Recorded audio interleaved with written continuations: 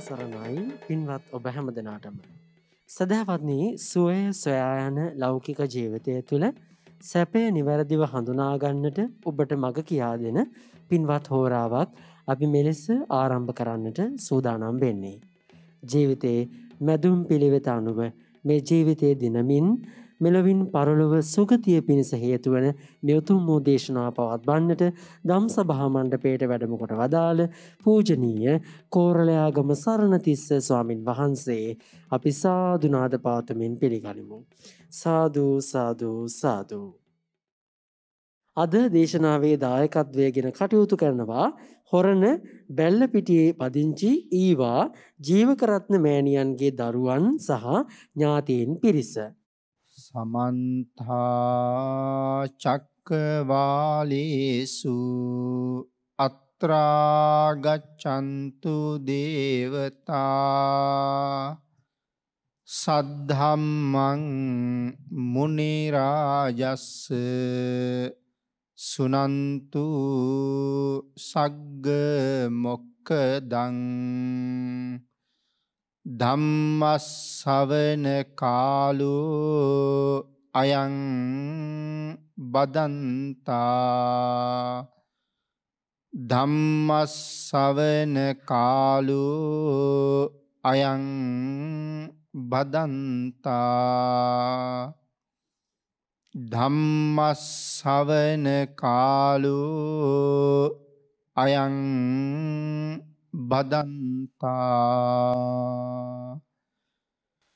නමෝතස්ස භගවතු අරහතු සබ්බ දම්මේසු අපපටිහතඥානචාරස්ස දස බලධරස්ස චතුවේසාරජ්‍ය විසාර දස්ස සබ්බ සත්තුත් උත්තමස්ස ධම්මිස්ස රස්ස ධම්මරාජස්ස ධම්මස්සාමිස්ස තථාගතස්ස සබ්බඤුනෝ සම්මා සම්බුද්දස්ස. නමෝ තස්ස භගවතු අරහතු සබ්බ ධම්මේසු අප්පටිහත ඥානචාරස්ස. දස බලධරස්ස චතුවේ සාරජ්‍ය විසාර දස්ස.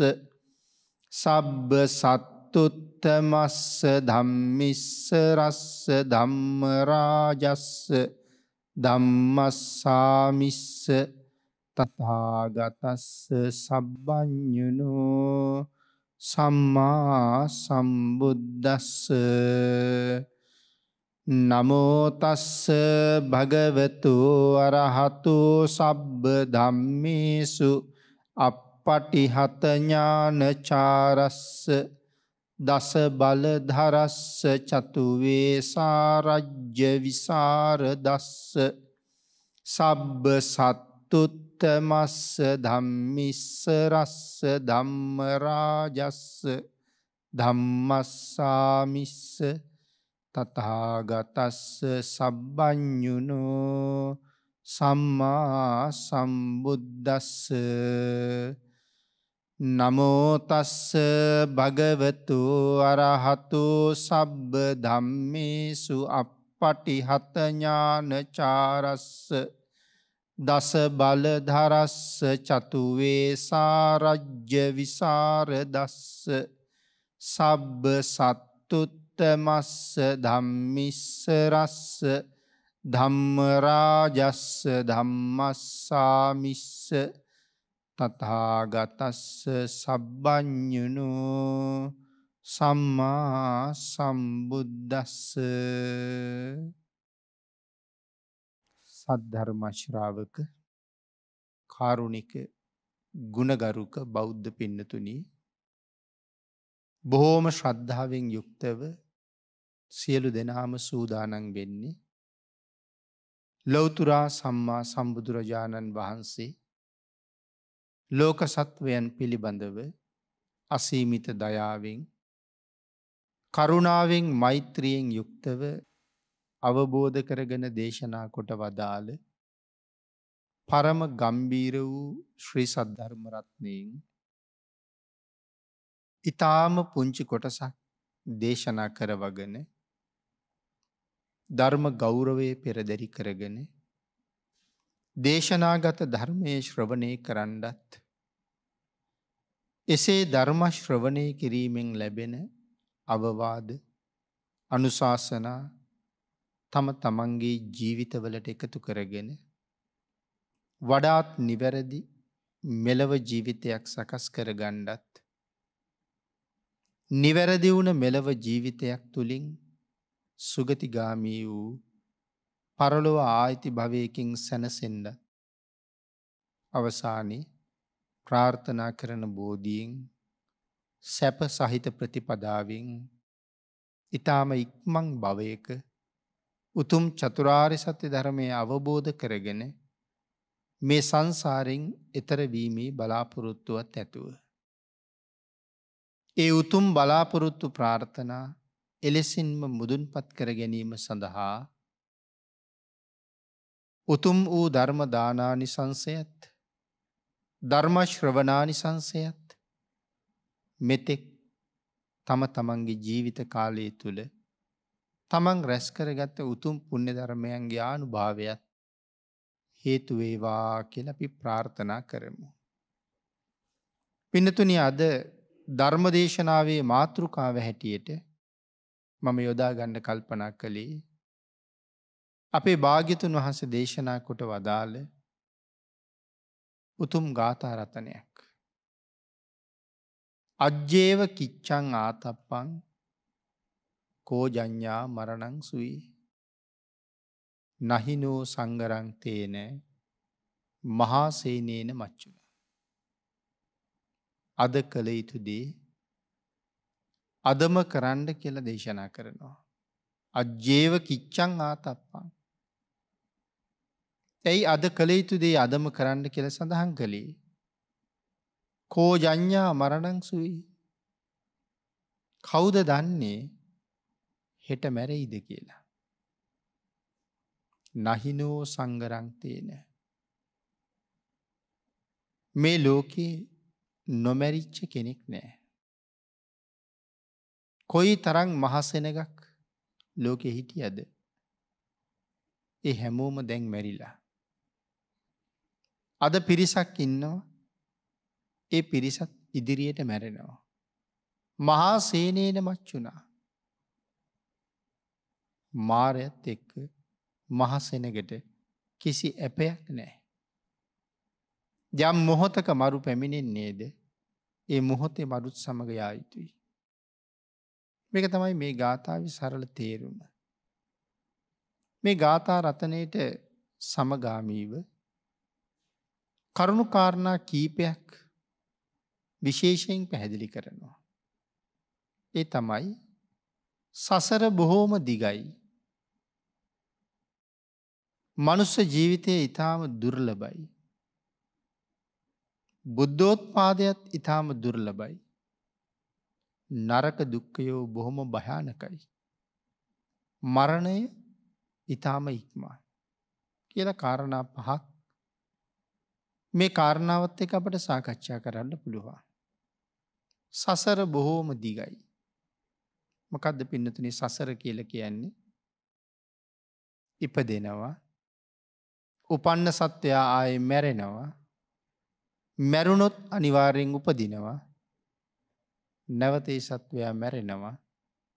නිමක් නැතුව ඉපදෙමින් මැරෙමින් නැවත උපදිමින් නැවත මැරෙමින් යන ගමන.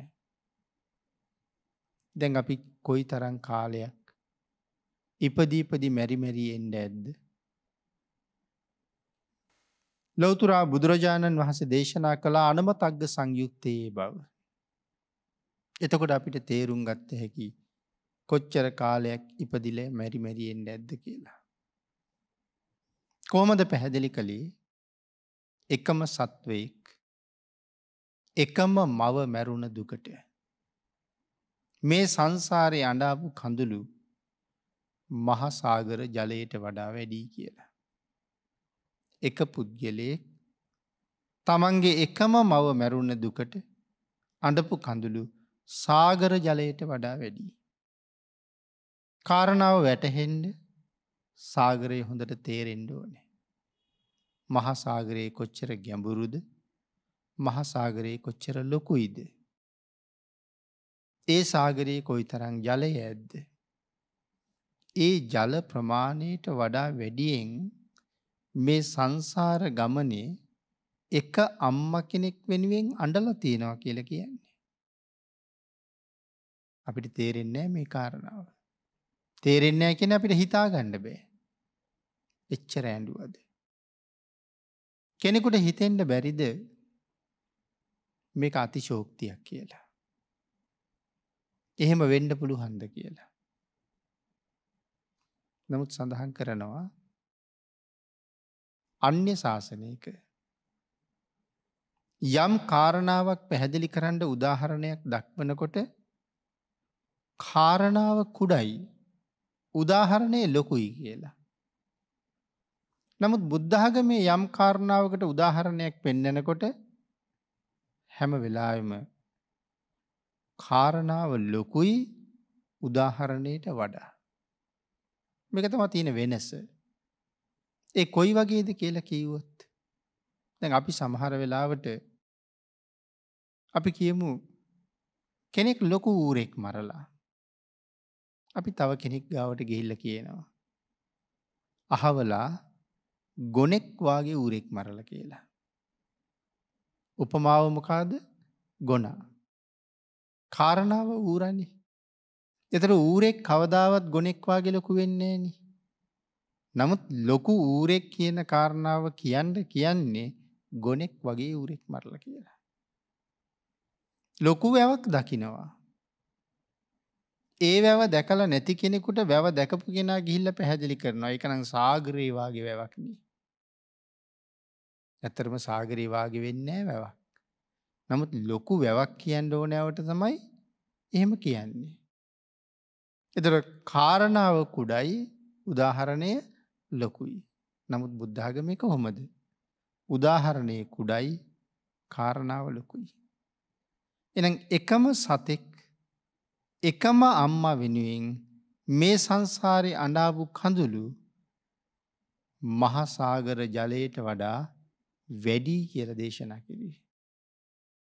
දර කාරණාව සාගර ජලයට වඩා වැඩී අඩාපු කඳුළු හැමතැනම සඳහන් කළේෙමයි. මේ සංසාරය බෙල්ල කපාපු තැනින් එකම සත්වයකුගේ ගලාගෙන ගියපු රුදිරය සාගර ජලයට වඩා වැඩී. අංගේ හිඳ සඳහන් කළ අති ශෝක්තියක් නෙමේ. කියන ප්‍රමාණයටත් වඩා වැඩි. නමුත් උදාහරණයට වෙන පෙන්නට දෙයක් නැති නිසා එහෙම පොඩියට පෙන්නලා තියෙන කියලා. එකන එහෙනම් ඔබත් මමත් මේ සංසාරයේ ඉපදිච්ච තරම කියනවා එක අම්මෙක් වෙනුවෙන් ඔබ මම හැමෝම අඩල තියෙනවා සාගර ජලයට වඩා කඳුළු. කොයි තරම් කාලයක් මැරි මැරීප දෙන්න ඇත්ත. එතට ඔය අතර අපි හැමදාම මිනිස්සු වෙලාම දෙපදුනේ. ඇයි තෙරිසං වෙච්ච අවස්ථා ප්‍රේත වෙච්ච අවස්ථා අසුර වෙච්ච අවස්ථා මේ වගේ අවස්ථා කොච්චර තියෙන් ඇද්ද. පනුව පළගැටියු මදුරුවෝ කෝන්දුරුවවාගේ සත්තු වෙලා ඉපදිච්ච අවස්ථා. එහෙම වෙන්ඩ බෑද සංසාරය අද මෙහෙම ඉන්න අපි මේ ජීවිතෙන් පස්සේ සමහරලාට අසුචි ගොඩක් උඩ ඉහෙට මැස්සෙක් වෙන්න බැරිද. ඒකටත් අවස්ථාව තියෙනවා. එම වෙනවද නැද්ද කියන අපි තීරණය කරන්න ඕනේ. අනුන්ගේ පායට පෑගිලා මැරිලයන කූමියෙක් වෙන්න බැරිද. ඒක තමයි මේ සංසාරය හැටි. ඒ නිසා සසර බොහෝම භයානකයි. දිගයි වගේම භයානකයි. සසර බොහොම දිගයි ඒ වගේම සසර හරි භයානකයි. නරක දුක්කයත් බොහොම භයානකයි.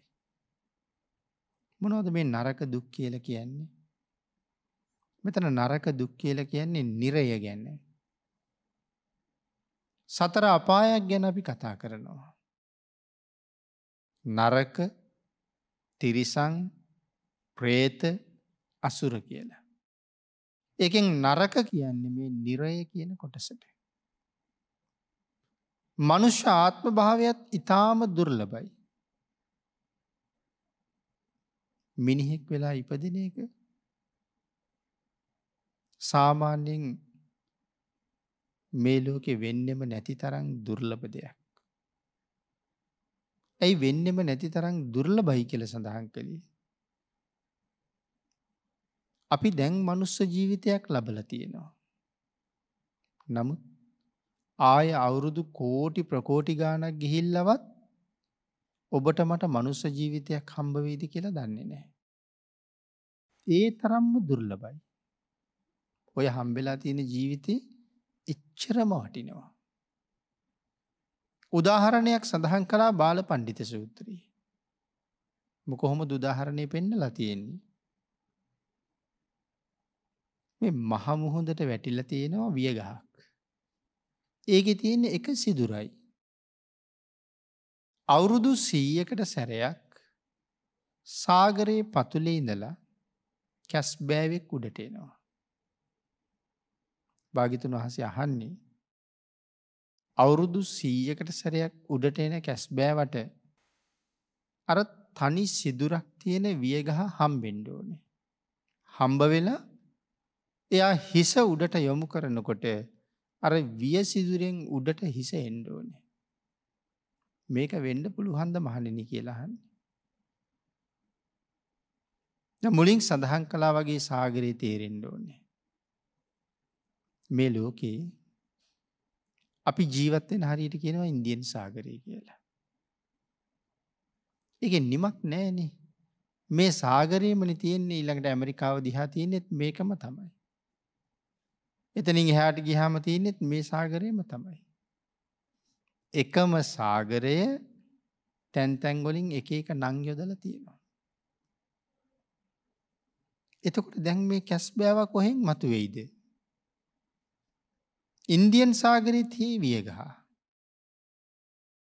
කැස් බෑව මතුවුණුත් අත්ලන්තික් සාගරයේ දිහ. ඒ මතු වෙලා යටගී හම ආය මතු වෙන්නේ අවුරුදු සීයකට පස්සේ. එතකොට සමහල්ලට නැවතත් ඒ පැත්තෙන්ම මතුවුණොත් ආය වියගහ කොහිතියයිද. එතකොට මේ සතාට වියගහ මුණගැහිලා ඒ වියගහේ සිදුරෙන් හිස උඩට දාලා අහස බැලීමේ සම්භාවිතාව කොපමණද. ඒක මේ ලෝකෙ වෙන්ඩම බැරි දෙයක් වගේ. මේ දෙන්න හරියට මුණගැහෙනවා කියන එක. හිතල බලන්න කොයිතරන් ගැඹුරු කාරණාවක්ද කියලා. හැබැයි අහම්බුවක් ලෙස වෙන්ඩ බැරිද. අහම්බුවක් ලෙස වෙන්ඩ පුළුවන්. භාගිතුන් වහස කොහොමද දේශනා කරන්න. ඒ අහම්බුවක් ලෙස සිදුවෙන කාරණාව හරියට නිකං නිතර නිතර වෙනවා වගේ. නමුත් මේ ජීවිතෙන් කෙනෙක් සමුගත්තහම ආය මනුස්ස ජීවිතයක් ලබනවා කියන එක ඊට වඩා හුඟක් දුර්ල බයි කියල සඳහන් කරන්න. දැන් තේරෙනවද කොයි තරං වටින ජීවිතයක්ද මේ තියෙන්නේ කියලා. ඒ තරං වටිනා මනුස්ස ජීවිතයක් ආය කොයි කාලි හම්බවෙයිද. එනිසා මිනිහෙක් හැටියට කරගත යුතු හොඳම කාරණා ටික තමන්ගේ ජීවිතයේ පුළුවන් තරං ඉක්මනට කරන්න ඕනේ. ඒකයි කිව අද කළ යුතු දේ අදම කරන්නට. කෞුද දන්නේ හෙට මැරෙයිද කියලා. එතර මොනවද මේ කර ගණ්ඩ කියල කියන්නේ. නිවැරදිව තිසරණ සරණයන්ට. හරියට පන්සිල් ආරක්ෂා කරන්නට. පෝය දවසට උපෝසත සිල් සමාදන් වෙන්ට. ඒ වගේම දස දාන වස්තුව සම්පූර්ණ කරලා තියන්ට. ඒ ටිකත් ලොකු සහනය. තෙරුවන් සරණයෑම අපිට තියෙන ලොකුම අස්වැසිල්ලයි. සිල්වත් ජීවිතයක් කියල කියන්නේ මැරුණු තැන යහපතක් කරනවා කියන එකයි. අපි මතක් කලානි. අපි ඔක්කොම මැරෙනවා. හැබැ මැරුණුත් අය උපදිනවා. එතකොට මේලෝක ජීවත්වෙන කෙනෙක් මැරුණගෙන් පස්සේ උපදින්න කොතනද කියන කාරණාව තීරණය කරන සාධකයක් මේ ලෝකෙ තියෙනවනම් මොක දේශාධකය ආංගේකට කියනවා සිල් කියලා. උපදින තැන තීරණය කරන්නේ සීලය. එතකොට එහෙමනං අද මැරුණොත් මේ වෙනාවට මේ වෙනකොට කොයිවාගේ සීලයකින් මං පොහොසද්ද කියලා තමන් හිතන්ඩෝන. එහෙම හිතහම හැම දාම ජීවිතයේ පන්සිල්වත් උල්ලංගනය නොකර දිග්ගටම ආරක්ෂා කරගෙන ඉන්ඩ හිතෙනවා. ආංගේක නිසා. සීලය උපදින තැන තීරණය කරනවා. ඉපදුන කෙනාට ලැබෙන්ඩෝන දේමනෝද කියල තීරණය කරන්නේ දානය. සීලය උපදින තැන තීරණය කරනවා දානය ඉපදුනාට පස්සේ ලැබෙන දේ තීරණය කරනවා. එහෙමනං මනාව දසදාන වස්තුව සම්පූර්ණ කරගත්ත හම ඒ උපදින ජීවිතයේ අඩු පාඩුවක් නෑ හැම දේම සම්පූර්ණයි දානයයි සීලයයි ඒ නිසා මනාවම අවශ්‍යයි. දුර්ලභ වූ මනුස්ස ජීවිතයක් අපිට ලැබිල තියෙන්නේ සංසාරය අසීමාන්තික පින් කරපු නිසා. අසීමාන්තිකෝ පින් කලා විතරක් නෙමේ පින් කරලා සිල් රැකලා රැස් කරගත්ත උතුම් කුසලය වියදං කරලා මේ ජීවිතය අරන්තියෙනවා. පෙරකරපු අසීමාන්තික පින් වියදං කරලා සම්මාධිට්ටික මනුස්ස ජීවිතයක් කරන්තියෙනවා. මිත්‍යා දෘෂ්ටික ජීවිතයකට වඩා කොච්චර වටිනෝද. පින පව මොකක්ද කියලා හොඳට දන්න කෙනෙක්නෙ පින් පව්වලින් වලකින් විශේෂයෙන් පව්වලින් වලකින්නේ. නොදන්න කෙනාට වලකින්ට බෑන්.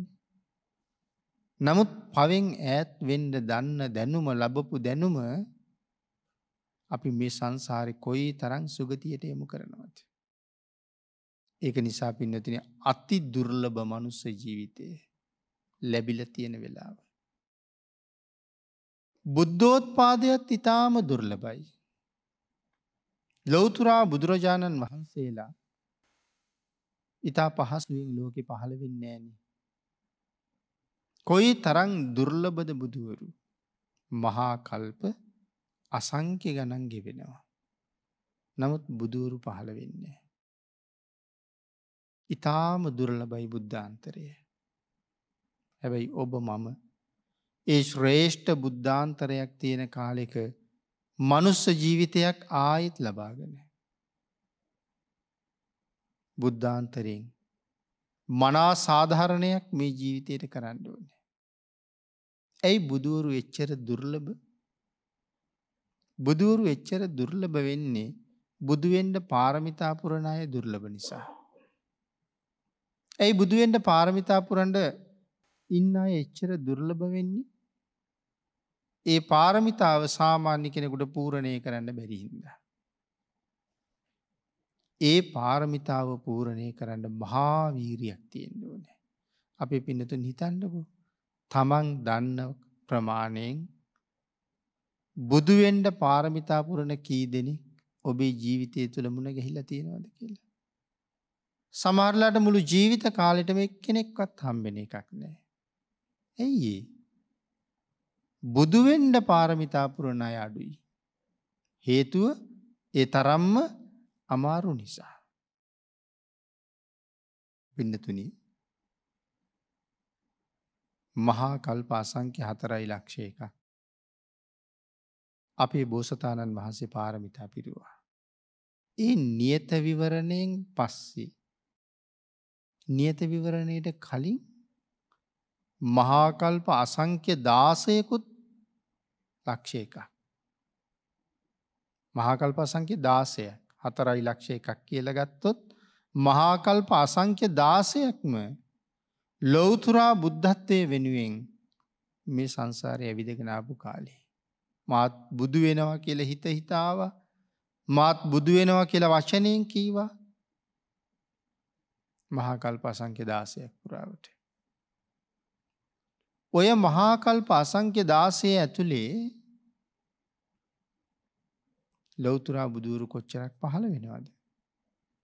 පන්ලක්ෂ දොළොස්දාස් විසි හතක් වගේ. විශාල ප්‍රමාණයක් ලොවතුරා බුදුරු. එතකොට කොච්චර කාලයක් පාරමිතාව පුරාගෙනනවද. පාරමිතාව පූරණය කරලා අපේ බෝසතාණන් වහන්සේ ලොවතුරා බුද්ධත්වය ලැබුවා. මේ වෙනකොට පිරිනිවම් පාල. නමුත් දහමතාම තියෙනවා. අපි ඒ ධර්මය ශ්‍රවණය කරනවා.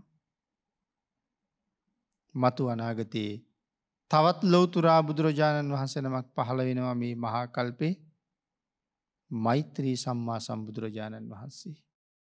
හැබැයි මෛත්‍රී බුදුරජාණන් වහන්සේගෙන් පස්සේ මහාකල්පා සංකෙයක්. බුද්ධ ශූන්‍යයි කියලා තියෙන පින්නතුනි. මහාකල්පා සංකෙයක් කියල කියන්නේ. මහාකල්පම එකයි බින්දු එකසිය හතලිහක් බුද්ධ ශූර්ණයයි. ආංඒකයි සඳහන් කළේ බුද්ධෝත් පාදය දුර්ලබයි. එතට අපි මේ ඉන්න කොයි තරං වටින තැනකද. මේ ජීවිතෙන් පහලට වැටුණොත්. මෛත්‍රී භාගිතුන් වහසගේ ශාසනයත් මග හැරුණොත්. අර අඳුරුම අඳුරු යුගයේ උපදින්ට ලැබුණු මොන තරං දුක්කන්දරාවකට ආපහු වැටීද.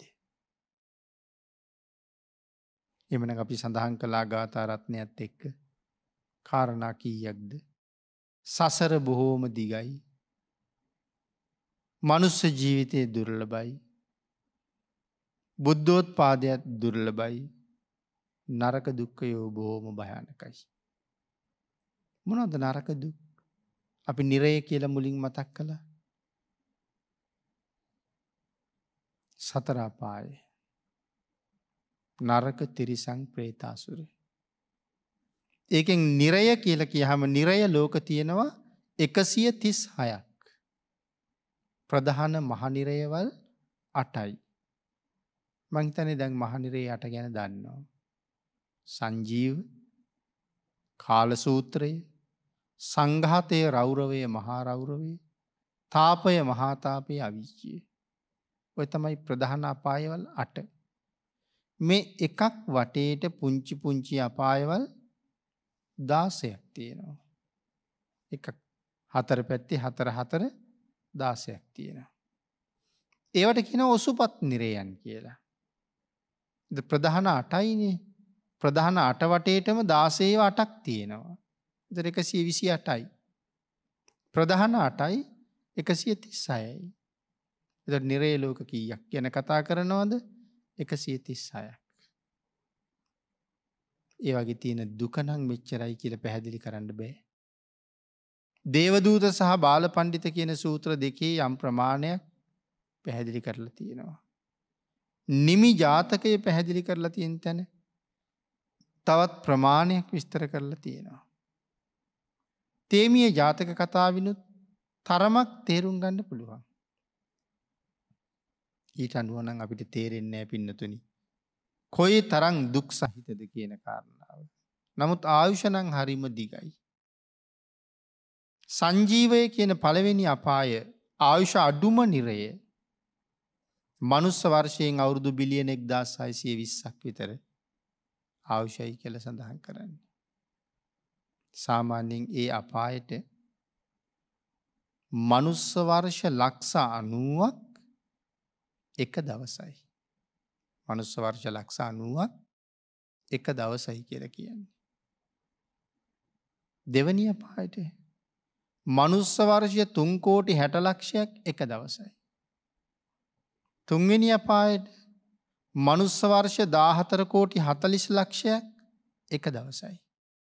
හතරවෙනි අපායට මනුස්ස වර්ෂය පනස් හත් කෝටි හැට ලක්ෂයක් එක දවසයි. පස්වෙනි අපායට මනුස්ස වර්ෂ දෙසිය තිස්කෝටි හතලිස් ලක්ෂයක් එක දවසයි. හයවිනි අපායට මනුස්ස වර්ෂ නමසය විසියෙක් කෝටි හැට ලක්ෂයක් එක දවසයි. හත්වනි අපායට අන්තර්කල්ප භාගයයි අටවෙනි අපායට අන්තර්කල්ප එකයි. මේ සඳහන් කළේ එක දවසක ආවිෂය. දිවිය අපායවල් හයක් එනකං සඳහන් කළේ එක දවසක ආවිෂය. හයවෙනි අපායට මනුස්ස වර්ෂ නමසය විසියෙක් කෝටි හැට ලක්ෂයක් එක දවසයි.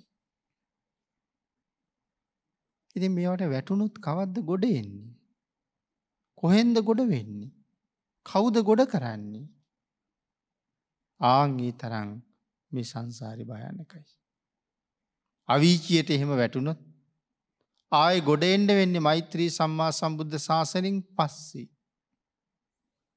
ඇද මේ කාලය අවිචියට වැටුණ මිනිස්සුන්ගේ පරමාවිශ සාමාන්‍ය එකසේ විස්සත් සීයත් අතරණ තියෙන්නේ.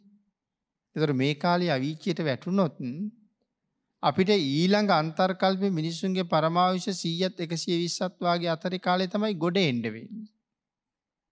ඉති මෛත්‍රී භාගිතුන් වහන්සේ මිනිස්සුන්ගේ පරමාවිශ අවුරුදු අසූදාහවාගේ කාලි ලක්සෙ වගේ කාලි ලෝකෙ පහළ වෙන්න. ඒ සම්බුද්ධ ශාසනය හම්බෙන්නෙත් නෑ කියලකිවේ එකයි.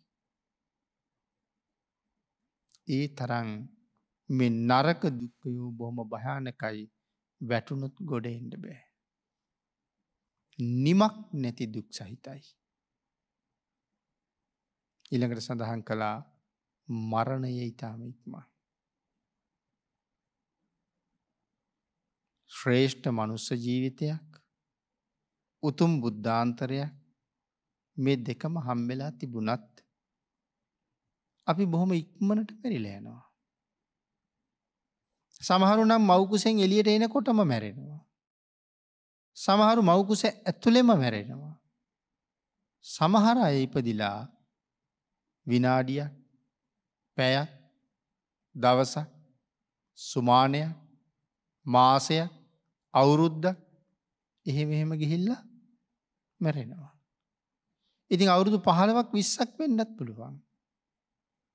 ඉතින් ඔබ තාම මැරුණෙත් නැහැ මම තාම මැරුණෙත් නෑ හැබැයි හෙට වෙනකං ජීවත් වෙයිද කියලා දන්නෙත් දන්නෙත් නෑ. මරණය ඉතාම ඉක්ම. කොයි මොහොතේ මා සොයාගෙන ඒ මරණය පැමිණේද දන්නේ. හැබැයි කොයි වෙලාවේ ආවත් කමක් නෑ සූදානන් වෙලා ඉන්ඩයි තියෙන්නේ. ඒකයි කීවේ අද කළ යුතු දේ අදම කරන්න කියලා. ජීවත් වෙනවා කියල කියන්නේ මරණයට සූදානන් වෙනවා කියන එක. ඒක ජීවිතය හොඳට තේරුම් ගන්න. ජීවත් වෙනවා කියන්නේ මරණයට ලෑස්ති වෙනවා කියන එකයි. ඕනම වෙලාවක සූදානමින් ඉන්නවා ආපු ගමන් යන්ඩ පුළුවන්. එතකොට දැන්ගේ නම් එතකොට පින් කරන්න ඕන දැම් පින් කරන්න ඕන මරණාසන්න වෙලා පින් කරන්නේ කටන්දර මොකොවත් ජීවිතය නෑ. හැම වෙලාවෙම තමන් වෙනුවෙන් අවශ්‍ය යුතුකම සම්පූර්ණ කරලා තියෙන්ට ඕනේ. එකයි අදාද කරන්න කීවි. එතකොට ඕනම වෙලාවක් ඒකට පහසුවෙන් මූුණ දෙන්න පුළුවන්. නැත්තං අනේ මෙච්චර බුද්ධාන්තරයකුත් තිබ්බ මෙච්චර මනුස්ස ජීවිතයකුත් ලැබිල තිබුණ මෙච්චර පින් කරන්න අවස්ථාවත් තිබුණා මට බැරි වුණානි කියල කල්පනා කරන්න වනොත් ඒක කොයි තරං අවාසනාවන්තද ආංඒක නිසා සූදානන් වෙන්න කිව්වා. මුලින් මතක් කලා වගේ තිසරණය සමාදන් වෙලා පන්සිල් ආරක්ෂා කරගෙන දසදාන වස්තුව සම්පූර්ණ කරන්න. උපෝසත දවසට උපෝසත සිල් සමාදන්වෙන්ට. කවද මැරුණත් කමක් නෑ. මොන ලෙඩේ හැදිල මැරුණත් කමක් නෑ. උපදින්නේ මීට වඩා හොඳ තැනක. සිල් තියෙනවනං උපදින්නේ මීට වඩා හොඳ තැනක. උපදින්න මීට වඩා හොඳ තැනක නං මැරෙන්ඩ බයවෙන්ඩ ඕන්නෑනය ආගේ හින්දා හරි සත්තුටු සිතින් සිනහා මුසුව මුහුණට මරණයට මුහුණ දෙන්න පුළුවන් ජීවිතයක් හදන්න ඕනේ. එවන් සත්පුරුෂයෝ වීර්යවන්තයෝ හිටපු ශාසනයක් මේක. සංකිච්චයන් වහන්සේට කඩුව ඔසවන්ඩ ඔසවන්ඩ මොකද කළේ කඩුව ඔසවන්ට ඔසවන්ඩ හිනා වෙනවා. අන්තිමට වදකයත් බය වෙනවා. වදකයා අහනවා ළඟ දනගහගෙන අහනවා ස්වාමීනී මේ කඩුව ඔසවනකොට මගේ දෙපතුල ලෙවකකා ජීවිතය ඉල්ලපු අය කොච්චර ඉන්නවද. කොච්චර හිටියද. නමුත් ඔබවහන්සේ මරණය දැක දැක හිනා වෙනවා. මටත් ඒ ක්‍රමය කියල දෙන්න කියලා. මං අපේ පින්නතුන්ට කියන්නේ ලෙඩ හැදිල මරණාසන්න වෙන්න පුළුවන්. මරණයෙන් බේරෙන්ට අපි හුඟාක් දේවල් කරනවා. කපනවා කොටනවා සැත්කම් කරනවා අලුතෙන් කෑලි එකතු කරනවා මෙ නොයෙක් දේවල් කර කර අපි ජීවත්වෙන්ට නැහදන්නේ. පින්නතුරි මැරුණහම උපදින්නේ මීට වඩා හොඳ තැනක නං ඇත්තටම මෙහෙ තව ඉන්ඩ ඕනැද කියලා හිතන්නකු. මීට වඩා හොඳ තැනකට යනවනං ආය කෑලි බද්ධ කර කර මෙහි ඉන්ඩෝ නැති කියලා තමයි හිතන්ඩෝනි. එතෙන්ට ජීවිතය ගොඩනගහම. කොයි වෙලාවී මේක අත්හරින්ට පහසුද ඕනම වෙලාවකත් හරින්ට පහසුයි. මහ සෙනගොක්කොම මැරිලා. අතීතයේ කොයි තරං ජනගහනයක් ලෝක හිටියද. කෝයි ජනගහනය ඔක්කොම මැරිලා. බට පඳුරක බටලී මතුවනා වගේ මේ ලෝකෙ මිනිස්සු හිටිය කියල කියන්නේ. බුදුරජාණන් වහසකින් ඇවිල් අහනුව බ්‍රහ්මණයෙක් ස්වාමීනී මේ තරං මිනිස්සු හිටපු ලෝකේ ඇයි දැම් මිනිස්සු මෙච්චර හිග කියලා. බට පඳුරක බටමතු වනාවාගේ මිනිස්සු හිටිය කියල කියන්න. මේ කොයි කාලි දහන්නේ. මේ අහන්නේ සමහර නගරවල දහාට කෝටියක් තරන් මිනිස්සු ජීවත් එච්ච කාලි. එක නගරයක දහාට කෝටියක්. සැවැත් නුවර දහාට කෝටියක්. රජගහනුවර දහාට කෝටියක්. එච්චර මිනිස්සු ඉන්න කාලෙ තමයි යහන්නේ ඇයි මෙච්චර මිනිස්සු හිග කියලා. එතර මේ කාලය යහුවන කොහොම හන්ඩ වෙයිද. එතකොට කෝයි මිනිස්සු ඔක්කොම ඔක්කොම මැරිලා. මොනමොන හේතුවෙන් හරි මැරිලා. ආං එහෙමනං මහසෙනගට මාරයත් එක්ක කිසි ඇපයක් නෑ. මුළු ජීවිත කාලෙම හම්බ කරගත්ත සියල්ලම මරුට දීලා මට තප්පරයක් ජීවිතය දෙන්න කිවොත් අපේ ඉල්ලීම තුට්ටුවකටවත් මායින් කරන්නේ නෑ. අපි දෙන දේවල් මකොවත්ම ගන්නේ ගන්න නෑ. අරං යන්ඩ හිතිච්ච වෙලාවට කොච්චර අකමැති වුණත් කවුරු අකමැති වුණ අරගෙන යන එක මාරයගේ ස්වභාවේ. ඒ නිසා මාරයව ඕන වෙලාවක ආප්වාවී. මම ලෑස්ති වෙලා හිටිය හැම මට දුකක් නෑ. ඒ නිසා සම්මා සම්බුදුරජාණන් වහන්සේ අපිට මනාව මඟ පෙන්නවා. කොහොමද කටයුතු කරන්න ඕනි නිවැරදිව කටයුතු කරන්න. දසදාන වස්තුවෙන් පෝසත්වෙන්ට. ඇයි දසදාන වස්තුවෙන් පෝසත්වෙන්ට කීවි නිවන් දකිනතුරු මේ සංසාරය අපි යන්න පෙයි. එතකොට නිවන් දකින තුරු මේ සංසාර ගමන මට කොහොමද ජීවිතය ලැබෙන් ඕන මට කොහොමද වෙන්ඩ ඕනි. ඒක තීරණය කරනා දසදාන වස්තුව තුළින්. ආහාර දන්දීල පානවර්ග දන්දීල වස්ත්‍ර දන්දීල තවත් නොයෙක් දේවල් දීලා. ඒ නොයෙක් දේවල් භාගිතුන් වහස පෙන්නලා තියෙන්නේ යහපත් සැප සහිත ජීවිතයක් වෙන්නේ. ආහාර දන්දුන්න හම ආහාර හිගනෑ. පානවර්ග දන්දුන් හම පානවර්ග හිගනෑ. වස්ත්‍ර දන්දුන් හම වස්ත්‍රත් හිගනෑ ලස්සන ශරීර වර්ණයකුත් ලැබෙනවා. පාවහන්වාගේ පූජ කරහම යානාහිගනෑ. ප්‍රදීප සහ ප්‍රදීප උප කරන පූජ කරහම අපිට හොඳට පෙනැස් ලැබෙනවා. ආලෝකය තියෙනවා. මේවාගේ කරුණු පෙන්නුවේ නිවන් දකිනතුරු අඩු පාඩු නැතුව යහපත් ජීවිතයක් ගත කරන්නට. නමුත් මේවා සම්පූර්ණ කරගණ්ඩ බුද්ධාන්තරයක් හරි වටිනවා. අනික බුද්ධාන්තරයක තමයි මේ දේවල් අපිට දැනගණ්ඩ වෙන්න. ඔබත් මමත් සසර පින් කරපු නිසා බුද්ධාන්තරයක සම්මාධිට්ටික මනුස්ස ජීවිතයක් ලබල ඉපදිලා ඉන්නවා. මනුස්ස ජීවිතයේ දුර්ලබයි වගේම මේ ලෝක අනික් හැම ජීවිතයකට වඩා මේක වටිනවන. මහ දනකුවේරෝ ජීවත්වෙන රටක නායකය වෙනවට වඩා ලංකාවවාගේ රටක යාචකයක වෙන එක වටිනවා. හේතුව කල්්‍යයාන මිත්‍රයෝ මුණ ගැහුණොත් ඒ යාචකයටත් සුගතියක් තියෙනවා. අසීමාන්තික සැප සම්පත් තියෙන රටක නායකයෙක් වෙලා ඉපදිලා අවුරුදු හැට හැත්තෑවක් සැප සම්පත් විඳලා මැරිච්ච ගමම්ම නිරේට යන්නේ. ඇයි මිත්‍යා දෘෂ්ටිකව ජීවත් වනේ. පින්කං මුකුත් කරලා නෑ. මේ රටේ අනුන්ගෙන් ඉල්ලගෙන කකා ජීවත් වුණ කල්්‍යයාන මිත්‍රයෝ හම්බුණොත්. නිවැරදි මග කියල දෙන්න කෙනෙක් හිටියොත්. මරණයත් එක්කම සුගති සංඛ්‍යාත ලෝකවල ඉපදිලා අවුරුදු කෝටි ප්‍රකෝටි ගනන් සැප විපාක විඳින්න පුළුවන් ජීවිත ගොඩනගණ්ඩ පුළුවන් ශ්‍රේෂ්ඨ අවස්ථාවල් අපිට තියෙන්. ආංගේක නිසා ඒ අවස්ථාවෙන් මනාව ප්‍රයෝජන ගත්ත නැත්ත. මම මගේ ජීවිතයට සාධහරණයක් කරපු නැති කෙනෙක් බවට පත්වෙනවා. මමම මට අසාධහරණයක් කරපු කෙනෙක් වෙනවා. එයින්ද අනික් අය වෙනුවෙන් යුතුකං කරන ගමන් තමන් වෙනුවෙන් යුතුකම සම්පූර්ණ කරන්නට.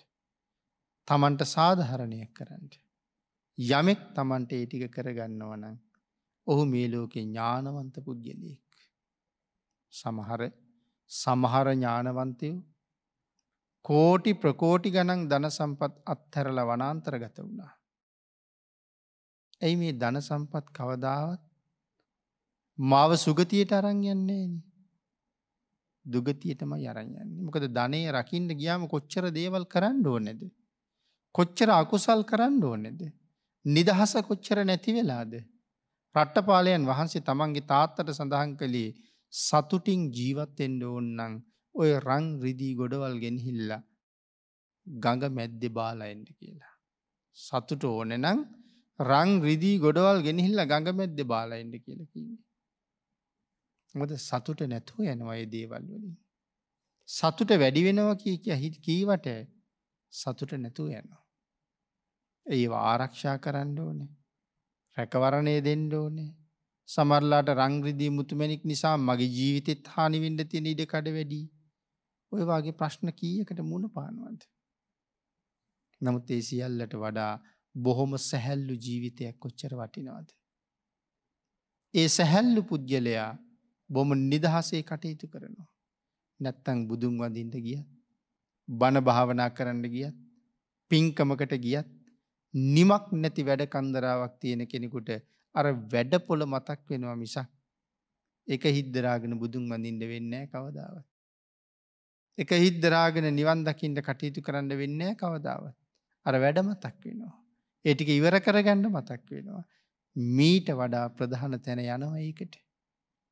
ආංගේක නිසා පුළු හන්තරං තම තමන්ගේ ජීවිතවල මානසික නිදහස තියාගෙන ලබාගත්ත ශ්‍රේෂ්ඨ මනුස්ස ජීවිතේ උතුම්ම බුද්ධාන්තරයක ලැබිල තියෙනවා. ඒ ජීවිතයට හොඳ සාධහරණයක් කරලා. මෙලවින් දවසක සමුවරගෙන යනකොට සිනහ මුසුමුහුණින් මෙලොවින් සමුගණ්ඩ පුළුවන් වාසනාවන්ත ජීවිතයක් පෝෂණය කරන්න ඔබ සියලු දෙනාටම රත්නත්‍රී ආශිරුවාදයෙන් ශක්තිය ධෛරිය භාග්‍ය වාසනාව උදාවේවා කියල ප්‍රාර්ථනා කරනවා. පින්නතුනි අද මේ උතුම් ධර්මකාරණාව පැහැදිලි කරන්න දේශනාවේ දායකත්වය දරුණු ලැබුවා හොරණ බැල්ල පිටියේ ඊවා ජීවකරත්න මෑණියන්ගේ දරුවන් සහ ඥාතීන් විසින්. උතු මරමුණ හැටියට සිහිපත් කරනවා දෙදස් විසි දෙකේ පෙබරවාරි මාසය දහතුන්වෙනි දින අනු හත් වසර ආයු වලඳා අපාතරින් සමුගත් හොරණ බැල්ලපිටියේ ඊවා ජීවකරත්න මෑණියන්ට මෙයින් රැස්කරගත්ත උතුම් පුුණ්‍ය ධරමයන් අනුමෝදං වේවා. පැපිලියානේ ඩීඩී ෆෝඩිනන්ඩස් මෑනියන්ට ලයිනල් ප්‍රනාන්දු පියාණන්ට පුුණ්‍යානුමෝදනා කරන අතර හොරණ බැල්ලම් පිටියේ බාන්ස් ද සිල්වා පියාණන්ට මේ රැස් කරගත්ත උතුම් පුුණ්‍ය ධරමයන් අනුමෝදං වේවා කියලා පුුණ්‍යානුමෝදනා කරනු ලබනවා. ඊට අමතරව ලක්වැසි ලෝවැසි සියලු දෙනාටම උතුම් සද්ධර්ම දානානි සංසය අනුමෝදං වේවා. ඒ හැම කෙනෙකුටම උතුම් ධර්මය අවබෝධ කර ගැනීම සඳහා භාග්‍යවාසනාව නොවඩුව ලැබේවා. සද්ධර්මශ්‍රවනය කළ ලක්වැසි ලෝවැසි සියලු දෙනාටම උතුම් තුනුරුවන්ගේ ආශිර්වාදය ප්‍රාර්ථනා කරමින් මෙලොව පරලෝ සුවපත් කරගණ්ඩ ආශිර්වාද කරන දායක පිරිස පින් අනුමෝදන් කළ සියලු දෙනාටම පින් අනුමෝදං වේවා ආශිර්වාද කළ සියලු දෙනාටම රත්නත්‍රයේ ආශිර්වාදයෙන් නිදුක් නිරෝගි භාවේ චිරජීවනය උදාවේවා දායකත්වය දැරූ සැදැහැති පින්නතුන් සියලු දෙනාටම රත්නත්‍රයේ ආශිර්වාදය ලැබේවා. මෙලව ජීවිතයේ සූපත් වේවා. පරලෝ ජීවිතයේ සුගතිගාමී වේවා. සිදු කරන යහපත් කටයුතු සියල්ලක් සරුව ප්‍රකාරයෙන් සාර්ථක වේවා.